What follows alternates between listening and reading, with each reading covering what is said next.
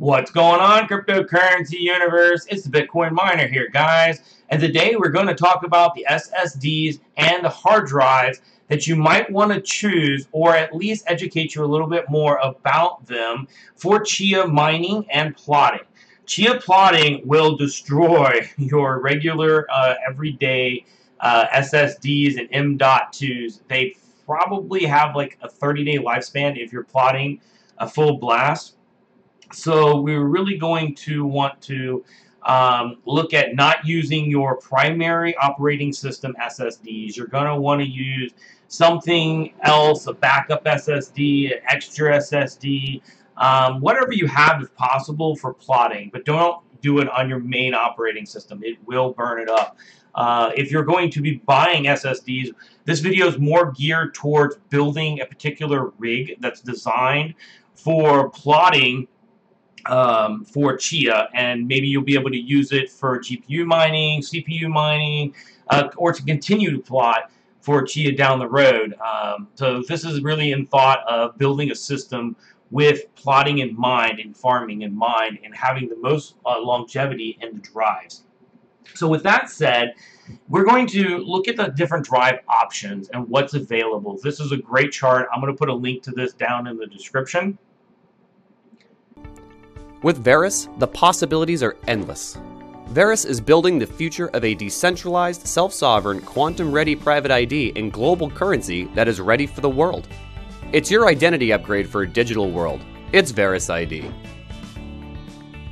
Download the free software at verus.io and register your Verus ID today.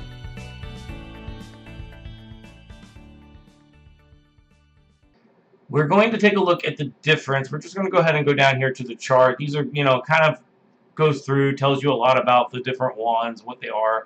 But for what we really need is the endurance rating. We're looking at this right here, the endurance rating and the terabytes written that is available right. So we're currently looking at the Gen 4s uh, and what they're able to do. So you can see all Gen 4 M.2s have pretty high endurance ratings so you really don't have to worry about that one too high, uh, too much. Uh, they're actually pretty decent. 1,800 uh, terabytes written and back and forth. I think this is a ballpark based on what I've been able to do and how much my systems are using. But you might get a three-month window. Um, you know, doing 12, 14 plots in parallel 24 hours a day with these drives before you burn them out. Just to kind of give you a rough idea um, based on my understanding thus far. Um, the other thing is that you got to look at is these guys do have some really high read and write, uh, but in practice, it just doesn't seem to get that high. It doesn't seem to get much over 1.0 you know, 1 over, you know, maybe like 1,000 megabytes or so, uh, maybe 1.2. It just doesn't seem to get there very often. It doesn't really spike for whatever reason. And you got to be careful on the boards when you're also using these M.2s, uh, fourth gens, because not all boards have two slots. But it's also, we're going to get to that in a second, but how much uh, temporary drives you actually want. So we're going to follow back up that after we take a look at these drive options. Now, we're going to go down here to the Gen 3 M.2s, which are much cheaper, but you can see they vary widely on their endurance rating. Their endurance rating, you know, as you can see, the 970 Samsung Pro is actually decent. It's 1200 but, you know, that's only two months, give or take, um, plus worth of read and writes, and you can see why I say your normal M.2s will be done in 30 days. I mean, look at this. 365, um, I mean, they're just very low, 640, uh, 720. So you don't have a very high endurance rating on these M.2s. And you're going to pay, you know, these prices for these aren't bad. Um, for two, basically, you're going to want two terabytes at least. Two terabytes as your temporary drive. We're in Chia. We need a temporary drive, and we need a place to store your plots. So we're talking about plotting right now. And then we're going to talk about storing those plots and what kind of storage devices to uh, use for those stored plots. So in this case, we use spindle drives. We're not worried about endurance ratings. We're worried about, you know, power consumption or really the cheapest price for terawatts, really what we're worried about. in the storage side of it. Now, in the plotting side of it, we want to think about speed, buffers, um, and price points, and endurance. Endurance is going to be the key. You're going to pay a modest price for these. If you have these, uh, in, you know, third gen, fine. You want to burn it up, fine. I personally don't think it's worth it when I've done the math. Um, but now we're looking at spending anywhere from $300 to maybe $400, even up if you're trying to get high-end version uh, Gen 4s. With the Gen 4s, you do still have a decent endurance rating, but with that price point, you might as well now start looking at server drives. These are the server drive options. I can put these links down in the description again. This is just to Intel's um, general server uh, series. This is the D7, the newer series. Um, we can go through and look at these, but I've already done the homework. This is right here is the fastest one you're going to get between these two. But they're very expensive. They're not cheap at all, and the price point doesn't make much sense. And the endurance is mediocre. I mean, it's decent endurance, but not compared to some of the endurance that we're going to get uh, out of this drive. So cost point, my personal opinion, is the P4510 series. Um, but that each person is going to do your own. I'm going to show you what you're looking for, and you can go through here if you want to um, and kind of see what other options you have. Now, again, finding things used on eBay cheap is a whole other option. Uh, you know, you can get things that work really well. So there are several versions in here. You have the 8 terabyte, 4, and 2, and 1. They're actually going to have different uh, endurance ratings. So as an example, we're going to go look at the 8 terabyte. And the endurance rating on this is about, as you can see, 13.8 million writes. Where we're looking at 1.8 million writes. Now, this is a very expensive chip. This is like $1,700 new, maybe $800 used. Um, so let's go look at the general smaller size. You're not going to need something like this uh, per se.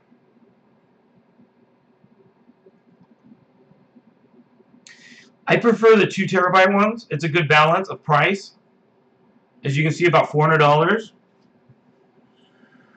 And you have an endurance rating of 2.6 million uh, reads and writes. So it's a good 30% more than your um, M.2 drives and it's right around the same price, if not, you know, maybe just a little bit more expensive.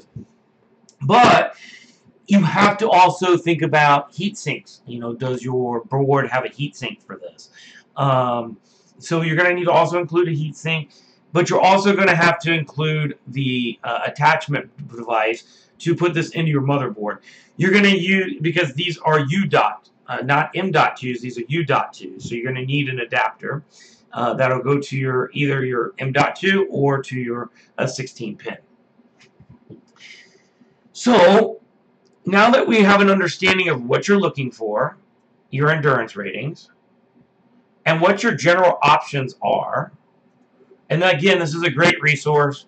Uh, it'll show you pretty much every drive, what they are, and the possible uh, price points. Optane drives, I don't think are going to be necessarily uh, worth it for this. They're just too expensive. They're really nice drives, but not worth uh, to burn up for this purpose. So now let's talk about storing uh, your plots. Now that you've got your plots. Oh, excuse me. I don't want to skip too far ahead on that. I want to talk about how much you need and how many plots you can do in parallel before we go to storage. So we're able to, so this particular drive right here, the 2 terabyte drive, will be able to allow you to do seven plots in parallel. Now, I like to take two drives and put them in Stripe or RAID together. Because that's also going to increase your speed. You can read and write even faster when you write in RAID format versus doing them one by one. You know, it's all going to depend on budget, what you can afford. But ideally, you're going to want to run at least two uh, together, maybe even three or four, depending on the board. But the builds I do are just two. Uh, and I don't have a problem running 14 in parallel. These particular uh, SSDs, I can run 14 in parallel at a fairly good speed uh, without worrying about uh, anything else, without it bottlenecking too much. Now, to run 14, you need 4 terabytes. Every 2 terabytes, you can run 7.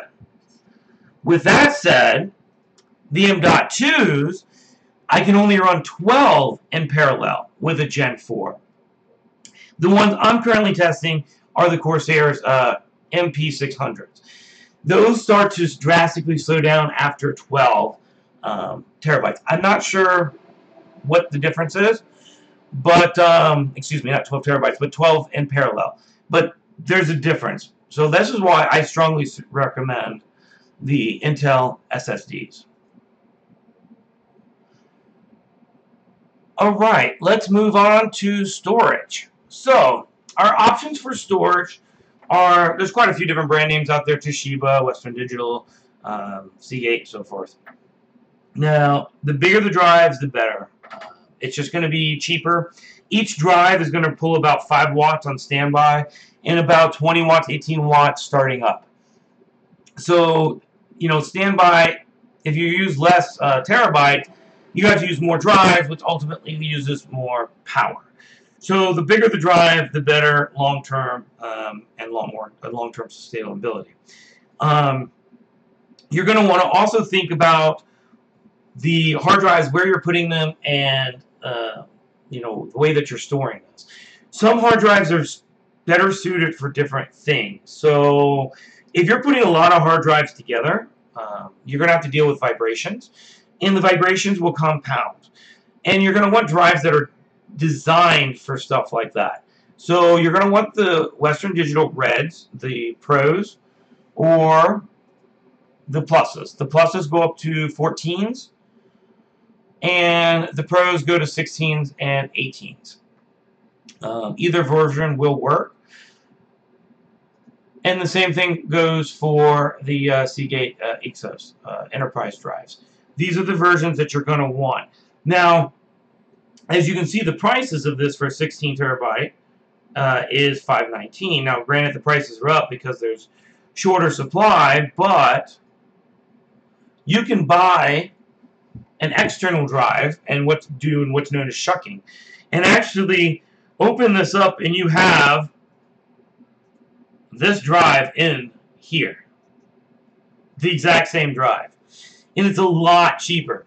But when you deal with an external drive, you have to have ways of connecting it to your boards. You have to buy extra parts. You need, um, you know, either a JBox or just some way of dealing with those drives. A regular computer can handle anywhere from two to ten of them pretty easily. When you start getting over 10 drives, it becomes more of a challenge and added cost. Same thing goes for when dealing with external drives, um, especially when you're talking about USBs and USB hubs and your options in those locations. So to me, I think it's a lot cheaper to use external drives and easier um, if you have the space and you just use USB hubs um, versus dealing with internal drives. Now, that's only scalable to a certain point. You know, once you get so big, going to have to switch to the internal version. But we're talking about home mining. We're talking about being able to do this at your house and run a decent amount in order to make a decent amount with the amount of power that you have capped at your house. Most houses in the U.S. have uh, about 200 amps. So, you know, you can run maybe 15 miners running about 1,000 watts, depending what they're mining, what they're doing, and that's leaving stuff left over for the rest of the house. So in theory, you could run 15 petahashes um, running hard drives if you wanted to at your house. So you don't need a warehouse or something to get anything, uh, ex, you know, very large scale. You could do this in the shed out back. So with that said, now your next biggest thing is your cost per terawatt is going to be your main focus. And that's why I say, you know, this price versus this price. At 329, 16 terawatts costs you $20.50 per terawatt, plus the added parts to run the drive. It's, again, USB version is $50 USB hub for 16 and maybe a $30 uh, or two $30 um, uh, extension plugs and uh, ways of plugging them all in. So you're really talking less than $100. Um, where the server version is just a lot more expensive. But this is the low down and dirty of plotting and mining Chia. And I hope this was helpful for you guys. I hope that I was able to teach you something today. Um, I hope you were, you know, able to get into plotting and chia, you know, mining chia uh, more efficiently and hopefully not learn anything or burn any of your drives up. And thanks again for guys for watching and make sure to like, subscribe, and hit the bell for notifications when we get new videos out. And uh, talk to you guys later on. See ya. Our internet and economies have become globally centralized. Our data bought and sold to the highest bidder. Media platforms censored and the technology engineered to funnel and extract value and commodify and control our behavior. With the emergence of blockchain technology, we have a chance to develop new systems and engineer them for more sovereignty, privacy, and freedom. But many blockchain projects fall prey to the same patterns of centralization. Built in silos, they lack scalability and few teams build bridges to work between them. Now, with this understanding, we have a better way forward. The next evolution in decentralized tech is here.